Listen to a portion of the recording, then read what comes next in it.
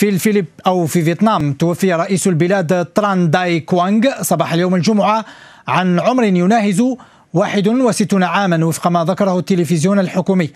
وقال إن تران داي كوانغ توفي صباح اليوم في المستشفى بعد معاناته من مرض خطير.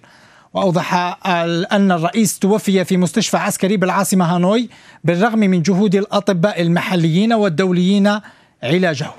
وانتخب البرلمان في أبريل من عام 2016 تران داي كوانغ رئيسا للبلاد والذي كان عضوا في اللجنة المركزية للحزب الشيوعي. وقبلها شغل تران منصب وزير الأمن العام وهي منظمة تتمتع بصلاحيات واسعة تشمل جمع المعلومات الاستخباراتية وإحباط التهديدات الداخلية والخارجية.